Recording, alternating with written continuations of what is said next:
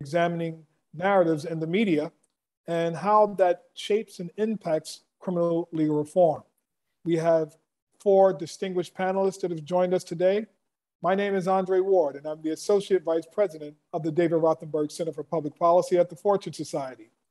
And today, as we spoke earlier, we want to look at how the media plays a role in criminal legal reform systems and what we can do as activists to change how the media portrays criminal legal system reform. Today, I'm joined by, um, again, these four panelists that we have here today. And before we get to them, however, just some small housekeeping rules, right? The audience can submit questions, right, using the Q&A button that's in the Zoom.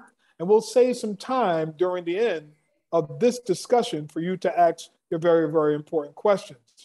As noted, right, we'll discuss the need for further system transformation to identify and actually counteract potentially harmful narratives portrayed by the media. And so we'll introduce our guests as we go along. And what I'd like to do for our guests and panelists who joined us today is to tell us briefly um, about yourself and your background and how this conversation about changing narratives in the media is relevant to you. I'll start off with MK.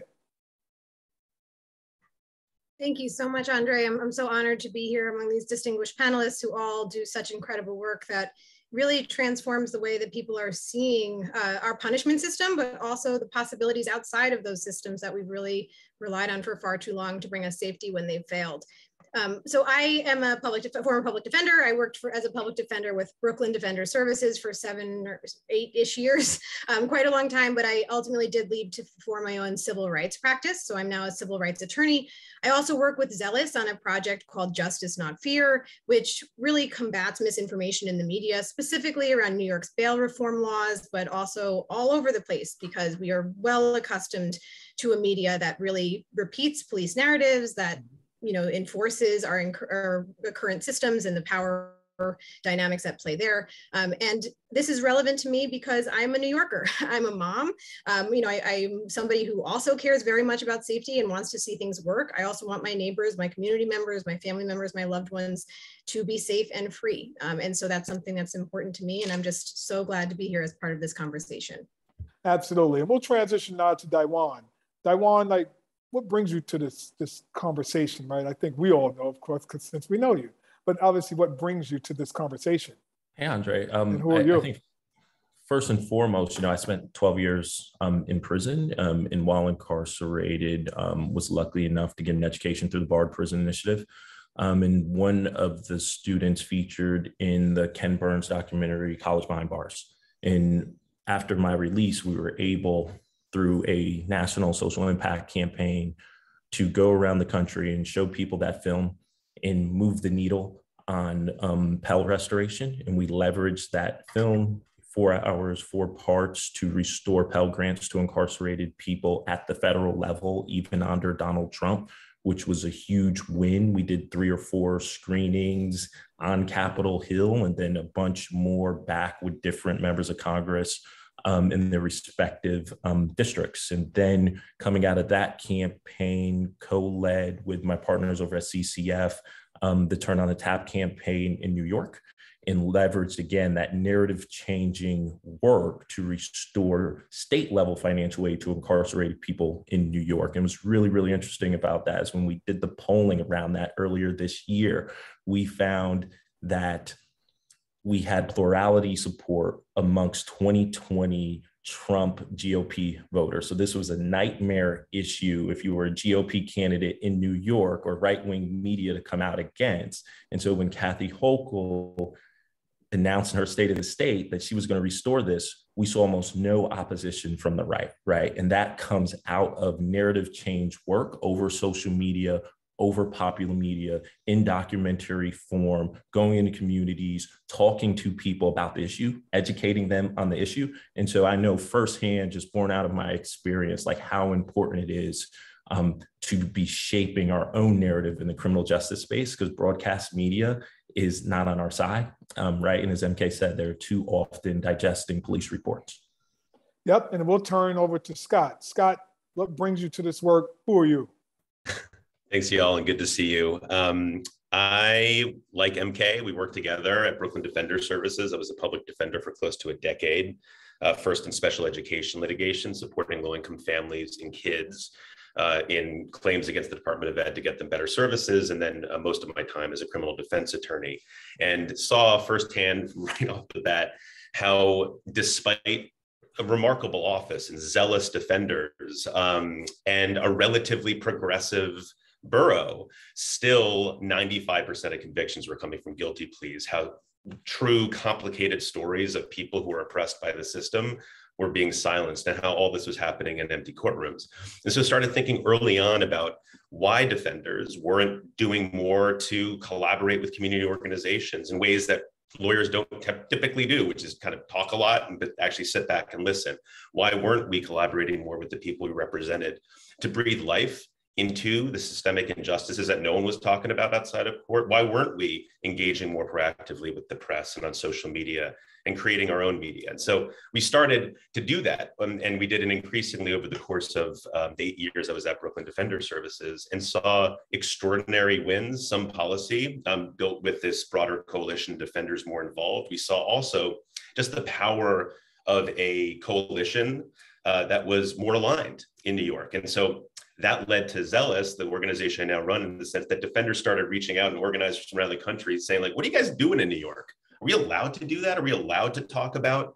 Um, are we allowed to talk to press? Because there's a sense that like we just say no comment.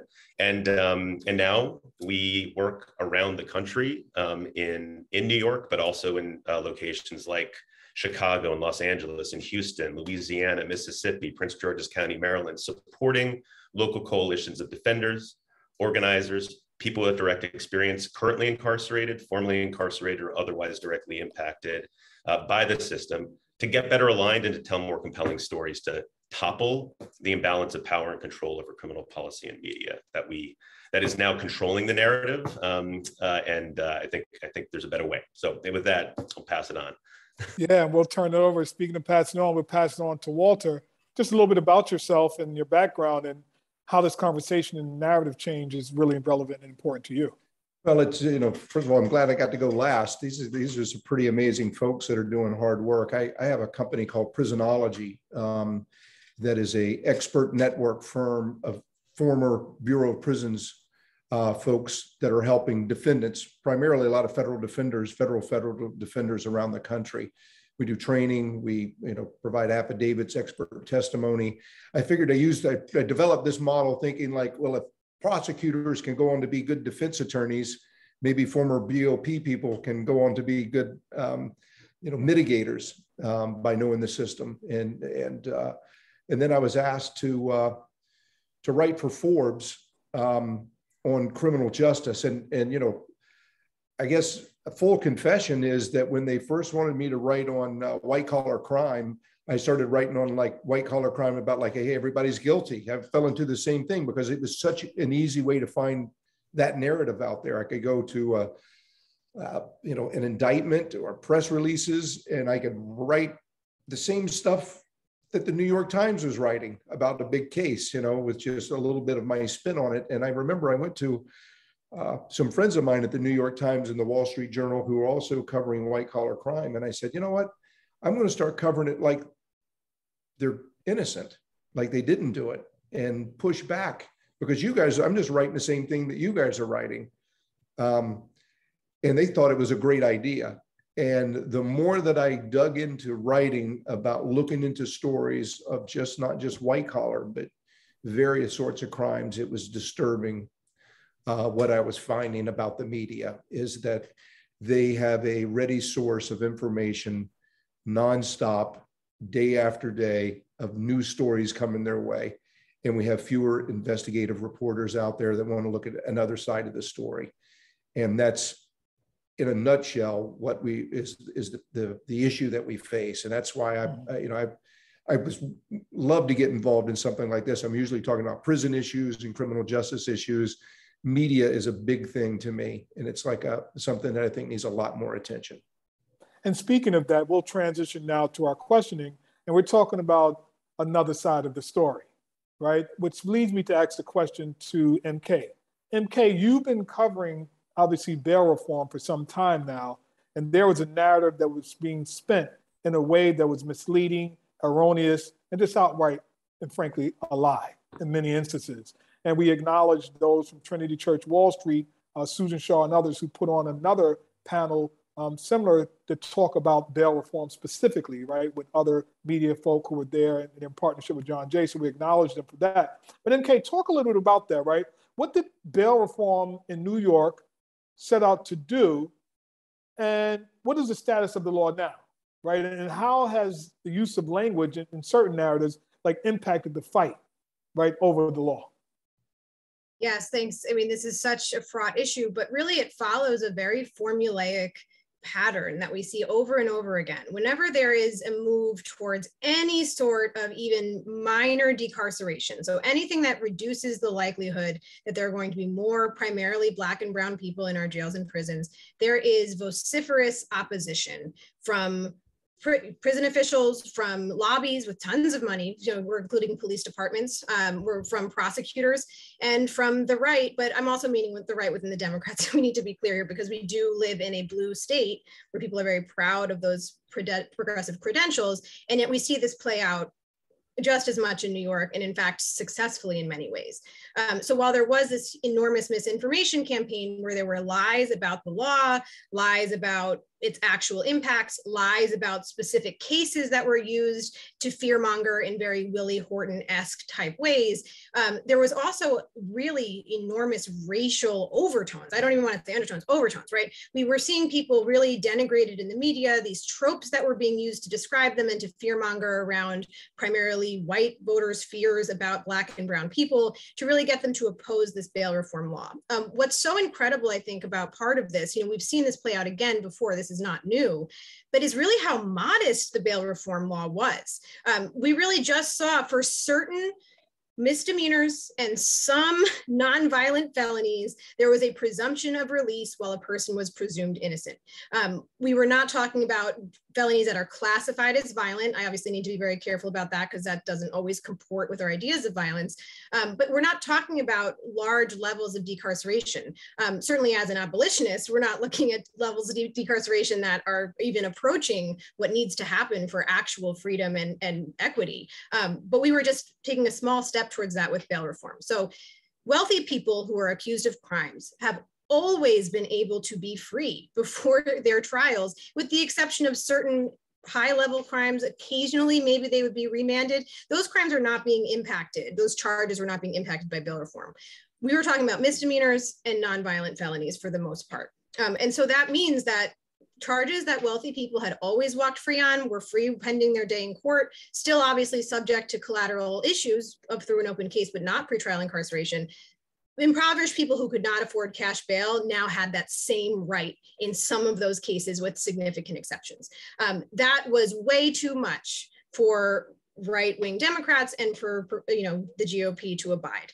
Um, and so unfortunately, there was a concerted disinformation push. We saw cases, outlier cases selected and fearmongered about. We saw lie after lie after lie about whether these cases were even impacted by bail reform, often they were not. Um, and we saw the, the use of racist tropes over and over again. And unfortunately, the result has been first through Governor Cuomo and then through Governor Hochul, two rounds of rollbacks to the law. Um, and so obviously there was a fight going on internally. The rollbacks potentially could have been worse where they're not advocates who are fighting tooth and nail to stop it from happening, but they did happen. Um, and so the, the ways that judges, prosecutors, and police could jail poor people pre-trial have been even further expanded in a system that already reflects unbelievable socioeconomic and racial inequity. I mean, in New York City, we're talking about a pre-trial jail population that is 92-ish, sometimes more depending on the day percent non-white um, and now you have even more ways to add to those demographics which is just absolutely horrible um, and so that fight is continuing right the, but the law is still largely intact important parts of it have been saved. But it's very clear, I think, from this fight that they're never going to be satisfied, right? These pro jail lobbies, um, even the public who've had their consent manufactured for the, these systems in many different ways, um, are not going to stop just because we've you know capitulated and, and, given away parts of these laws. And so we really need to stop doing that. Um, so it's a very long-winded answer. It's something obviously we've been working on really intimately. Um, but it's hard right? We really need to undo many decades of, of people's understanding of the punishment system of people's use of racist and classist and awful language like to describe people. You know we're talking about inmates, felons, but also, you know, defendants even is, is a really dehumanizing word. And then it gets worse than that. I mean, we see New York Post headlines using words like animal and horde. Um, and so we're really, it's really blatant. And I, I don't even like to use over undertones because it really is an overtone. Um, but that's something we're fighting constantly. Um, you know, and I'll just, you know, I, I think a lot, I've been thinking about a lot about lately, Eddie Ellis and his writing on, you know, his open letter on the question of language, because we're thinking about his plea, which I believe was, you know, early 2000s and obviously was informed by all of his work, by his wrongful incarceration, by his work as a Black Panther, by his targeting by COINTELPRO, to not use these dehumanizing words, but to rather use people-centric language. Um, and so it sounds simple, and I don't certainly want to suggest that words alone are going to solve this problem, right. but it's it's important, it's critical, and that's some of the work that we're doing. Absolutely. And Scott, you know, when we think about this whole notion of what's happening here in New York State, uh, what are you seeing across the country in other progressive and perhaps non-progressive states and localities? Like, is the narrative different, right, from the other side, or are there patterns of reporting? It's all really consistent. And I want to talk about the first piece that's consistent, which is the extraordinary success of these modest reforms. Um, like let's just start in New York. I mean, MK spoke a lot about you know the modest changes, but let's look at what those actually look like. Hundred over 18 months, 183,000 people free who otherwise would have been subject to bail.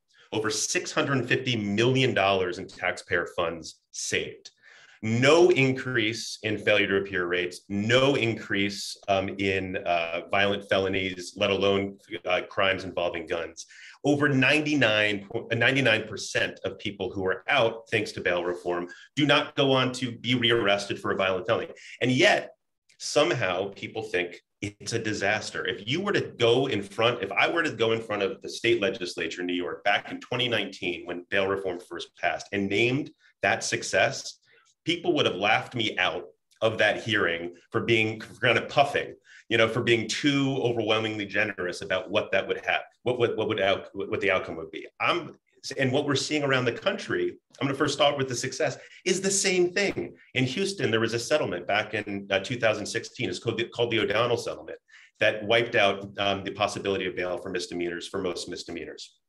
In Los Angeles, at the beginning of the um, pandemic, there was an emergency bail schedule based upon health principles that kept folks out during the pandemic. Um, in San Francisco, the new DA Chesa Boudin stopped asking for bail in as many cases. Um, in Chicago, the Pretrial Fairness Act that was passed this past year had um, uh, made the restrictions around electronic monitoring for folks that were out more um, just freer and fair. And the same result, hundreds of thousands of people freer or free than they, you know, than they would have been. Millions of dollars have saved, no impact on public safety, except in some cases the opposite, because we know when people are locked up, they come out far worse than when they went in, more likely to be rearrested. And folks that are out, they're able to remain in their jobs with their housing, stay with their families. So these are, I, I, I, I'm just going to say like the tactics that MK mentioned around, um, around press, around uh, the who's sourcing the stories, around sensational stories, defining the law when there's so much not even more nuance. It's the exact opposite of a disaster. The fact that progressive um, leaders in all of these states um, are refusing to stand behind what I'd say are the most successful policies for public health safety, fairness, and fiscal responsibility as it relates to criminal justice in history. Obviously, there's far farther to go. Those patterns remain the same,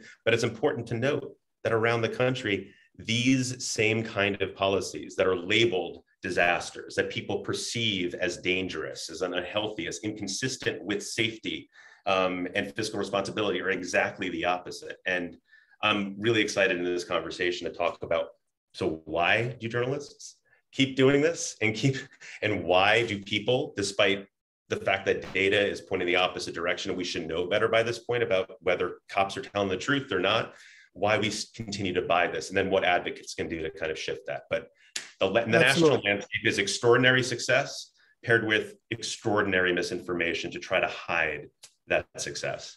Speaking of hide too right? You know when you think about the impact of bail reform there are a tremendous amount of success stories.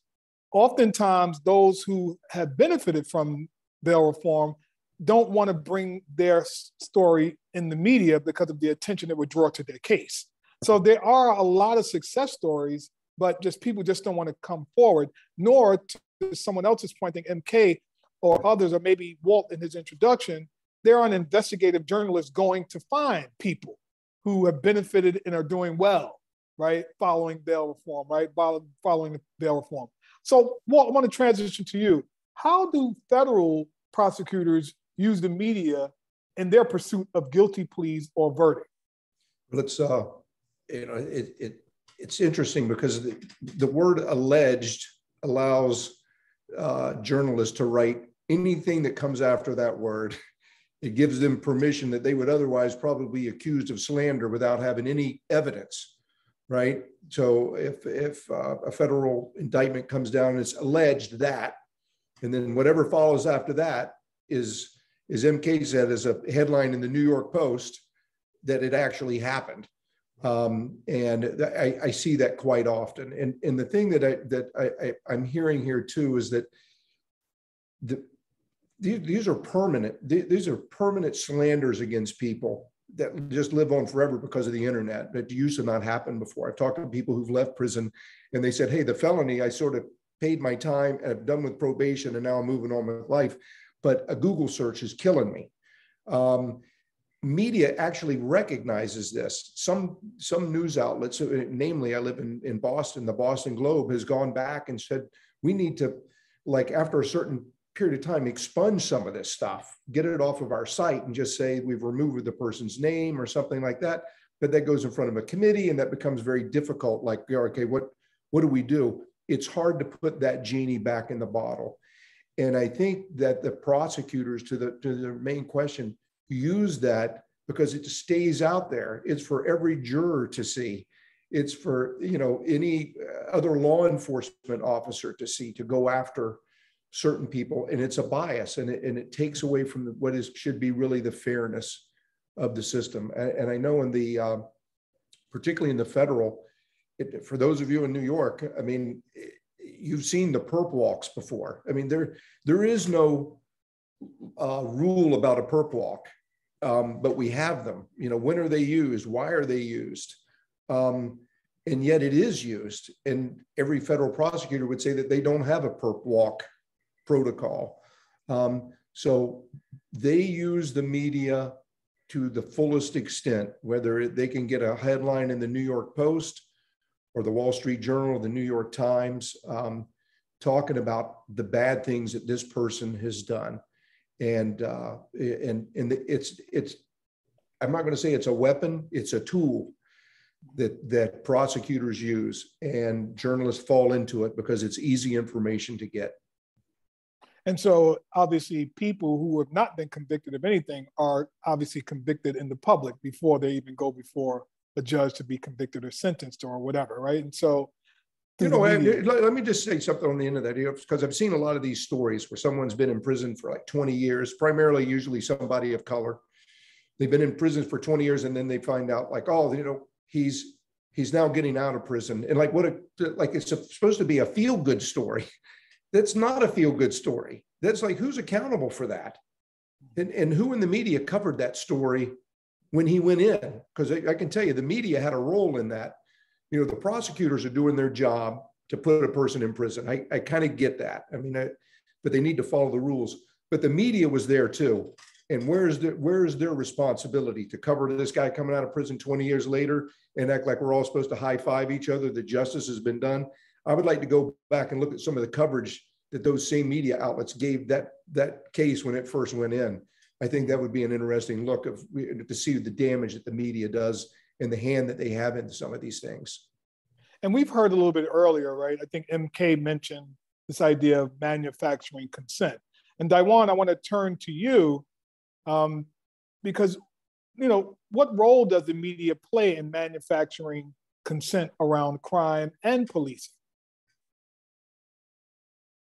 Um, they play a huge role, um, Andre, and I, I, I think. But prior to getting to that specific question, I just want to remind everyone, and I think this is fundamental to any conversation like this, is that most Americans' relationship to crime and criminality is completely theoretical, right?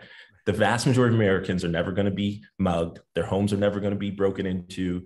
Um, their car windows never going to be smashed, right? And the idea that any of those things could happen to you at any time, especially in places like New York City, which is one of the safest um, large cities in the country, right, is kind of ludicrous, right? But people feel that way because we have a media mix and environment that creates deep insecurities through fear mongering, right? And when people are scared, they make irrational decisions, right? And they make irrational decisions to put people who haven't been convicted of crimes in jail, right? Into pretrial detention for a year, two years, three years at a time, sometime, right? And convince themselves that it's making society better or making them more safer when actually it's doing the total opposite, right? And the way that we get to that point in sort of that theoretical relationship to crime and um, criminality um, is through manufacturing consent, right? Which is a mass media sort of concept. Um, and you know, we could also pull you know our political apparatuses into this, where the media will, and specifically when we look at New York, you know, shooting goes up in Brooklyn, maybe, or any neighborhood, right, of concentrated poverty, by the way, right? Low income neighborhoods say for two months, right? And then the media takes that short run statistic or data to say crime is out of control in New York City, when actually, right, if we look at it over a longer period of time, six months, a year, right, or even yeah. in a historical perspective, is at a radical low or actually down, right? Um, and they tell you this at the end of the article, but whoever gets to the end of the article, right? And so people come up with this perception that crime is up. And the media and our politicians drill that point down for six months, for eight months, for nine months. And then they go conduct polling around it, right? And then they ask people, hey, do you think crime is up? And people say, yeah, I believe crime is up. And then they turn that into a data point and then use that data point to push bad policy, right? But it's an artificial data point, right? Because they're not that poll is not actually measuring what people think or people's experience with crime and criminality, right? It is measuring the efficacy of strategic communications in mass media, right? And so we have a media environment, especially around crime and criminality and prisons and police in this country, where consent has been manufactured and people's notion of what cops, courts, prison actually do is radically distorted.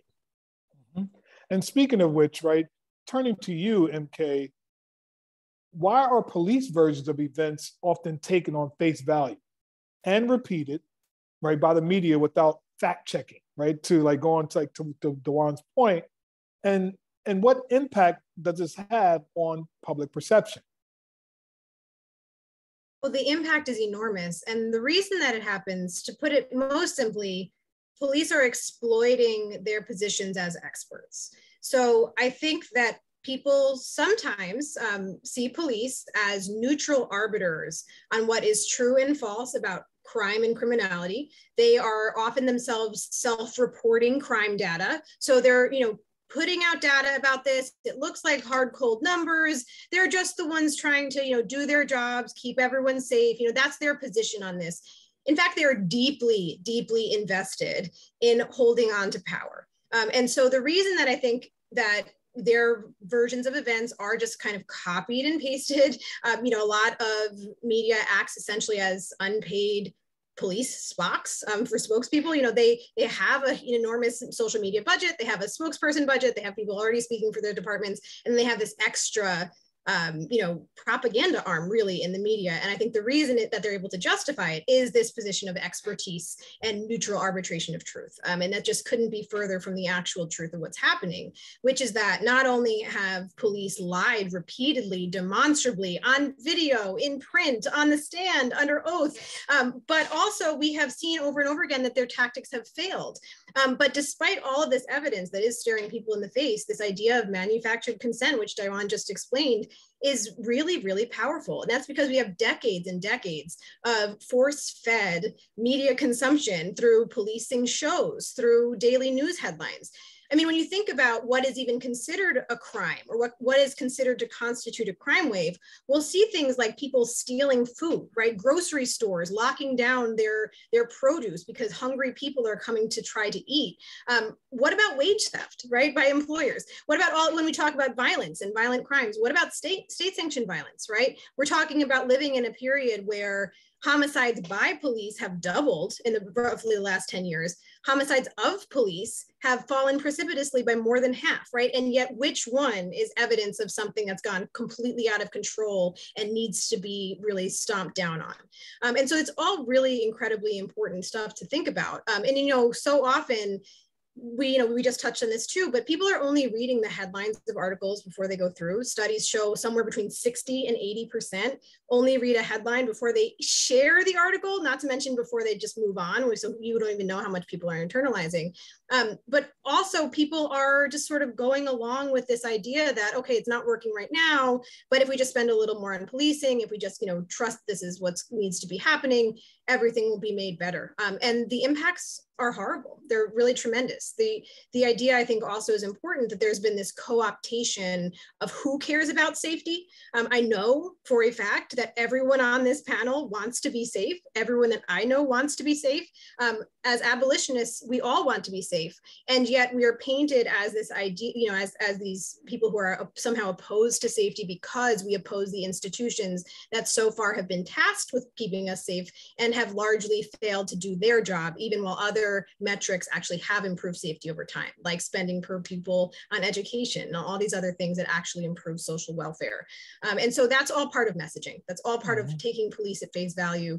Um, and it ruins people's lives. Um, you know, I, I, think, you know, this was brought up by, by Wally, by Dyjuan, by Scott, everybody who talks about the coverage when this happens um, versus the follow-ups when the police are proven to have lied, it's really striking. I mean, and that is a permanent part of a person's record. So it, it destroys individuals, but it also destroys our ability as a society to express ourselves in ways that are, you know, actually moving towards safety, right? To, to explore these alternative options that have demonstrated efficacy outside of policing and outside of incarceration.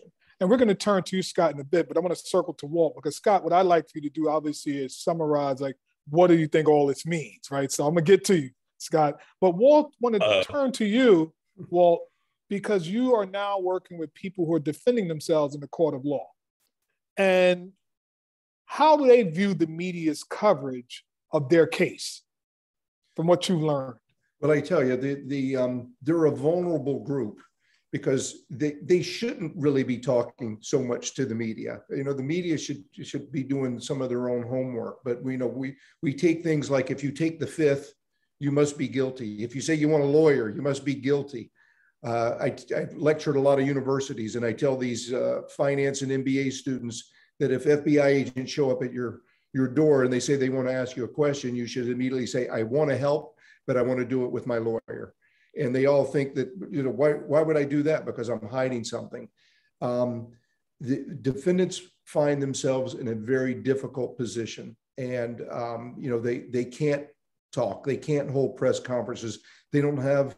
You know, a lot of times these are just regular people who, in an unfortunate situation, who can't what are they supposed to say? They're not professionals at this. You know, how, how do they defend themselves in, in public opinion? And and so you know, because I really want to hear. I, am learning so much from these these other perspectives. I want to hear what Scott has to say. But I I just look at at defendants being there, there's not really a solution for defendants to come out in the press. The press is going to have to do some work and get in there and dig and start looking at some of these other issues um, that you know that, that are creating this misinformation uh, you know, in, the media, and the in the media should be really attuned to this, and they're they're not. They're they're really not. I mean, I I, uh, I just was listening to Dyjuan, and I'm thinking like he's exactly right about these creating these false data points on which we develop policy and perceptions, and it's just bad policy. Bad bad, bad policy. policy. qualify yeah. that. Yeah. So. Um, but anyway, I just see him as a vulnerable group. Sure. That's the way. That's the way I view. I view a lot of the defendants. They're in a tough situation. Got it. And Dyjuan, how are activists and advocates using Twitter, for example, to counter misinformation? And then we're going to transition right to you, Scott. You know, I, I think Twitter has become a really, really amazing platform. It's the largest community of, you know, um, free journalists um, in the world. There's a reason Elon Musk doesn't like it, but I, I, think in the same way that like Google democratizes access to information, right? Prior to Google, you had to have an expensive set of encyclopedias, right? Twitter democratizes access to criticism, right? In the sense of analysis and evaluation. So prior to Twitter, you know, the mass media owned the airwaves, right? They got their prosecutors and their police commissioners and their um, policing es- experts on TV. And that was the expert opinion. But what's happening over Twitter in real and compressed time, right, is the debunking of what CNN and the New York Times and everyone else gets wrong, right? And we've seen a shift in the mass media to more personality based shows. You know that's cuomo on tv that's Maddow on tv because they cannot keep up with the fact checking of the twitter space. And what's been really really great to see you know people like scott alex karakatsanis and others lead the charge in counter disinformation on twitter right? And calling out the New York Times and other publications for repeatedly fear mongering, calling out those journalists or people purporting to be journalists for reprinting police um, press releases. You know, when um, Uvalde just happened and sort of the defund the police um, movement um, rose has risen back up. A Times reporter reached out to me on Twitter and said, "Hey, we'd love to talk to you about defund the police." And I said, "You know, I canceled my subscription to your publication because you're constantly fear mongering, and I have no interest in speaking to you." Right, and that is me holding him accountable as a journalist for his failure to adhere to journalistic principles.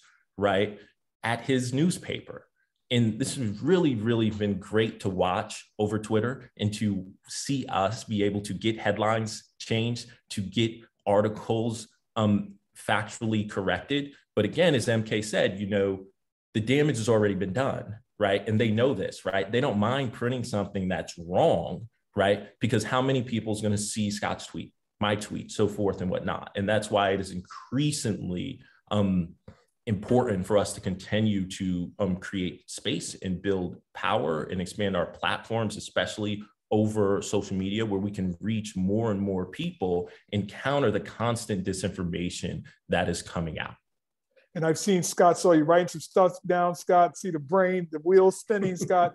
so, like, what does it all mean, Scott? Like, what does all of this mean? You know, what can advocates do? And what are they doing that's working? Oh God, I was praying for like several more questions before you got to me because it definitely was not a time, not time. I'm going to do my best uh, to try to try to piece some pieces together. I mean, I think one one thing to start out with is just again underscoring how dire um, the need to shift the way that media is writing about crime and punishment, um, about how popular culture is portraying um, what is actually happening on the ground, how how critical this is because you know we're at this space where there, there's mass media, like, or like we have access to iPhone footage that shows police lying and hurting people more than ever. People understand that police lie, and yet somehow journalists keep who know who know this keep printing the reports, and people keep keep buying it. And just underscoring this is just how easy. Going back to what Dyjuan was saying, how easy it is to just pull the wool over people's eyes by by by uh, cops and the press. Just last week, this is really important to note. Like the chief of the police he was Dyjuan was talking about months at a time. The chief of police came out and claimed credit for a week where um, uh, shootings or uh, shootings and homicides were down. And a week later, when there was a sh- several shootings over the weekend in Brooklyn, literally a week later, she was blaming bail reform for it. So it's this incredible ability to, ex- you know, to claim credit when crime is down and then pass off credit when when crime is up, and people buy that and, and press prints it. Um, another you know key example of why this is so dire and just shows that people are just buying this so much is just we spend more than any other society in the history of the world on policing, prosecutions, jail, prisons, etc. And so you'd expect we'd be the, the healthiest and safest society in the world. And yet we're far from it. And so every time the, a police says, and then a, and a, and a press piece prints the fact that um, crime is up, that's an indictment against our current system and actually an argument in favor of the other. So why does this keep happening? So you know, first, I think it's important to understand where journalists are coming from, not to excuse, but to explain. Um, and when we talk to journalists around the country, when I talk to journalists, they talk about, I wanted to do this or I wanted to write another story, but I'm beholden to my editors. So a lot of what we need to be thinking about is not just changing the, the perceptions and the skill set of journalists, but equipping them to make better cases to editors and engaging uh, media rooms altogether. They talk about the fast pace of, uh, of, the, of the crime beat and so um, one thing to think about is how to slow that crime beat down, how to actually bring in other areas um, like environmental justice um, uh, into a kind of the larger conversation about health and health and safety. Because of that fast pace, they need to rely on really reliable. And when I say reliable, I don't mean actually truth telling, but folks that can get right to um, as sources, and those happen to be police and prosecutors. So there, what can we do? We can call in uh, journalists and actually do a lot of the work that, that we're doing around the country, which is connect them and help them build relationships with sources that they should be talking to. These are defenders, these are organizers, these are people inside directly and outside of prison. These are folks who care most, in my mind, have the best ideas about what it's going to take to get to public health and safety. There's also there are also a product of bad habits, and so we have to also understand that yes, there are some really meet like bad meeting journalists out there, but there is a call-in approach and potential um, with a lot of them, and we've been seeing a lot of success with just like giving journalists the tools from sourcing to literal language guidelines about what language to use and not to use, data trainings um, uh, to be able to, um, to tell more complicated stories. There's this education piece. I guess um, last but not last but not least, and there's actually more, but last for now because I'm looking at the time and I've gotta gotta yeah, stop. And we got a couple of questions in the chat. I got I just last but not least, I think we um, as advocates need to do two things.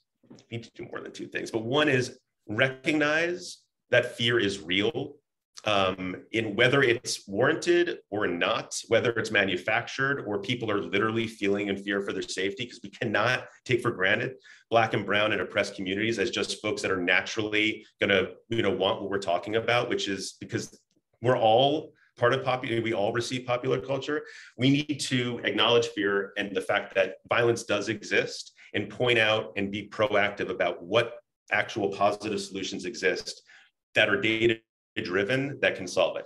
Thing two, and then I'm going to stop, I promise, is going back to the stories we tell. Um, I don't think we can give up as advocates um, just because it is hard and just because it is fraught, because we do not want storytelling to be extractive. And for defenders, we obviously have concerns about ethics and privilege, et cetera. But I don't think we give up. And the stories that we tell, we I think we need to obviously tell the sensational stories of horrible of horrible, massive injustices like deaths in jail and exonerations after a long time. But we've also got to tell more of the everyday stories of the normalcy of freedom. And they don't have to be you went on to get a job or you or you uh, graduated from Yale Law School.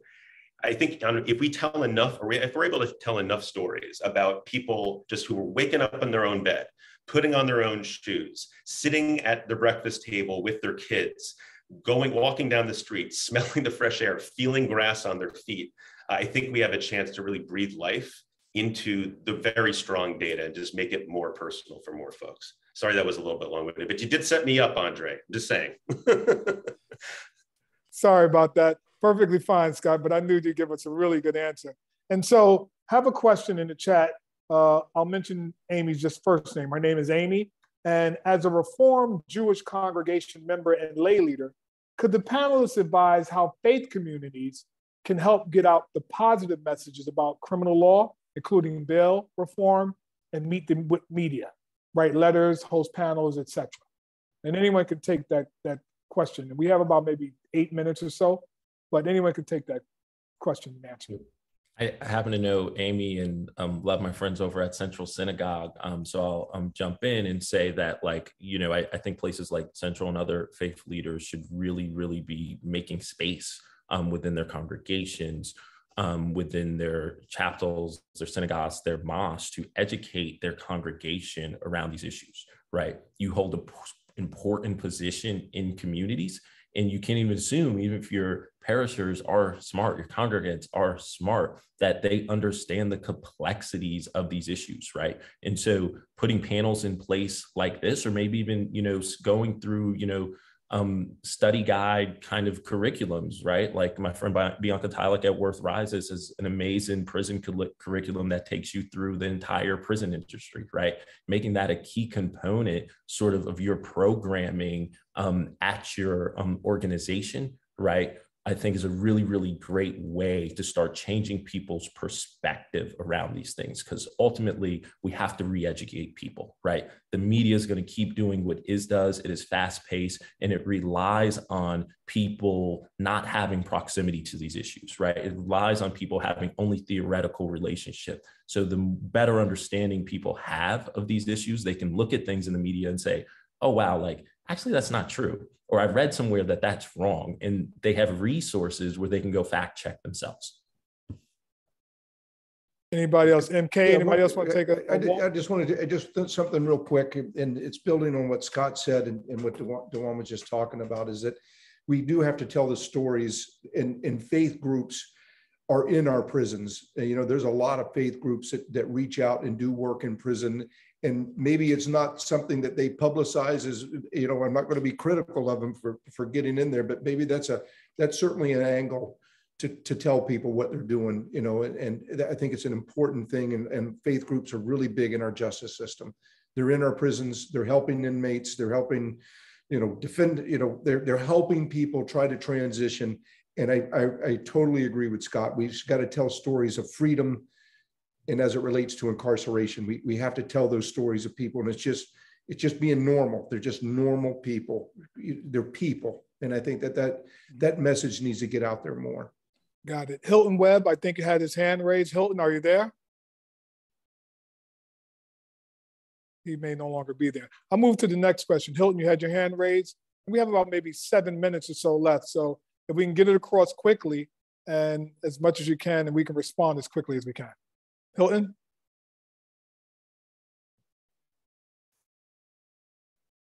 He's asking to be off mute.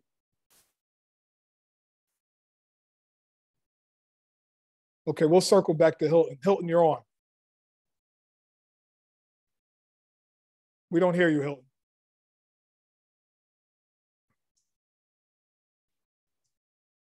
Okay, Kenneth to speak. So we have one more question. Um, how can someone who is not on social media get started? Who should we be following? MK, you want to take some of that? And then we'll circle the others for a couple of comments too, and then we'll have some closing remarks. Um, so if the question is whether you want to get started on social media, I think that Dyjuan is a very good person to follow. Scott's a good person to follow. There are many organizations and activists that are working tirelessly to kind of create their own channels of correction to what's happening in the media. Um, and so I think that's a very good place to start. Um, if you're looking to continue to stay off of social media, which is also something that is fine and that you can have a huge impact in real life, um, I think that that's great too. And the, the best place to start is to get involved in your own community. Um, there are really wonderful organizations here in New York City, uh, very specific community-based um, organizations. So obviously there are, there are broad co uh, communities like Fortune Society, like that are citywide, but they're also within your own organization, on your own block. There are places to really start in your own faith community. There are places to start organizing people against these harmful narratives, but also for pro-social things. Um, I think what we think about a lot as, from speaking for myself as an abolitionist, is the idea that abolition is not a, an absence, it's a presence, which is something that Ruth Wilson Gilmore says, and that's something that's really important to carry through. Because the idea that we're all talking about is not we're going to tear down all of these institutions and leave nothing in their place. The idea is that we're tearing them down and replacing them with what communities really need, what we all really need, which is, you know, fresh food, healthy food, parks, safe streets, um, education, all of these other wonderful things. And so organizing within your community, starting incredibly micro and small and building out is something that you can do as well. Um, so it's not only important to be educated, but it's important to really do the work. Um, and I know that people on this panel are doing that. That's a really good example. So while we're talking about language and messaging and speaking, we're also behind the scenes actually getting stuff done. Um, and so there's many places to start and you don't necessarily have to be terminally online to make it happen. And just want to acknowledge the, the, attendees who are joining us, right? You're unable to um, speak, right? But you can put your question in the question box, right? So that's why you're unable to say anything because you're unable to speak because it's set up in that way. Somebody had something they want to say, and then yeah, we'll briefly, take like a, Andre, a minute, just... a minute from each of you as a roundup. We have about five minutes left. Yes, that one just to um, piggyback off what MK said, and I think this is especially important for people in New York City. Um, as someone who works very closely with New York City Council, like you have a council person, it is extremely, they actually have real power in New York City. It is extremely important for them to be hearing from you, your communities, your congregations on a consistent basis that, like, the status quo is not how we get to public safety, right? Continual investments in policing is not how we get to um, public safety. Like the public you know, outside of being on social media, outside of that, like there are real things you can do in your community with regard to our electoral politics that can bring about real change. And so be constantly communicating to them people as a constituent that you expect something different from them than what has been done because what is being done is constantly failing, right? 11 people have died this year on Rikers Island, right? That should be unconscionable when we're spending half a million dollars a year to keep each person there, right? So I'll take that from Dyjuan as what you want people to walk away with today. And I'll transition to Scott. In a minute, Scott, if you're able, what do you want people to walk away with today? Okay. Walk away from this. You got it two two main things. One, yeah, I hate saying it, but do not believe police. What they say, whether you're being stopped by a police officer, whether they're coming to your house, whether they're responding, whether they're saying something in the in, in press, you can assume that it is not true. They've proven it time and time again. I'm sorry to have to say that. And that applies also to our to the New York City mayor and other progressive leaders that are just kind of voicing that that opinion or uh, their opinions. They are motivated by wanting to preserve the status quo and they can't be trusted. And I'm sorry to say that. Number two, demand truth from those who you might be able to get to do better. And that includes journalists. So be more skeptical consumers of news and media and demand better from them. And also demand better from your lawmakers, right? Lawmakers, let's talk to say Democratic and, and progressive, bail reform, decarceration, um, uh, uh, re, uh, uh, commitments and investments into community. These are public health and safety solutions that actually work. Uh, and uh, they're extremely fiscally responsible. they should be championing these modest wins and pushing even further. So demand that they stand behind these laws and these changes and actually provide their constituents with truth. So that, that, that's my takeaway. Thank you, Walt. What do you want people to walk away with in about a minute, and then we'll turn to sure. MK to close us out. I think it's uh, I think it's very important that we we we live in an age where there is a lot of misinformation out there, and we have to question our news sources. And I think that that's part of becoming a better democracy.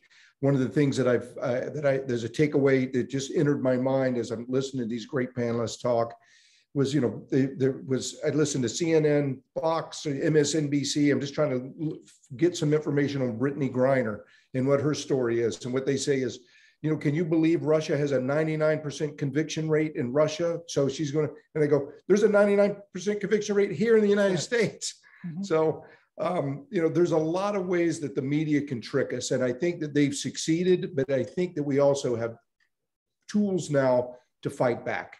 Twitter, asking, you know, calling our elected officials, some of the stuff that, you know, that the other panels talk about. So that's, that's my takeaway. MK, close us out. Oh my God. Okay.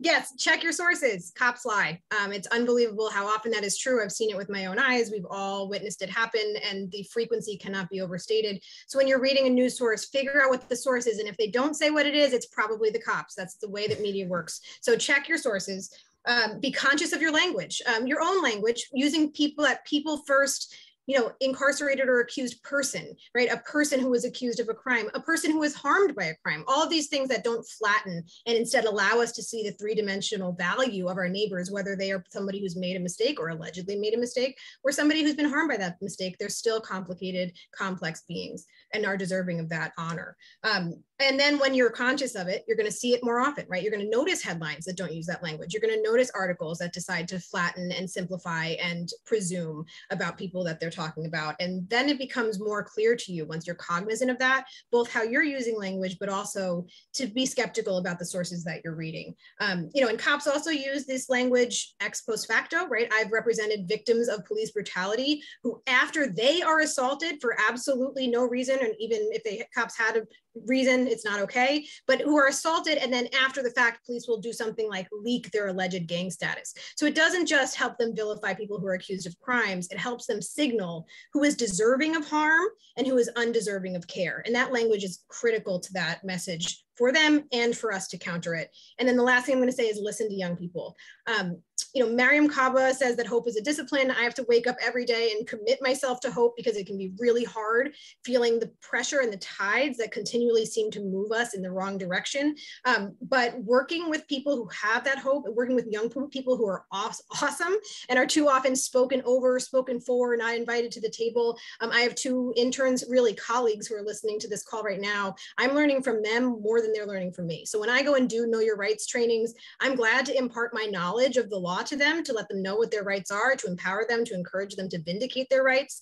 But the truth is the law will not save us. The law is designed to support the institutions that we've been complaining about for this entire panel. It is people and young people specifically that are going to get us where we need to go. So making sure that everyone whose voice needs to be heard is part of the conversation is critical.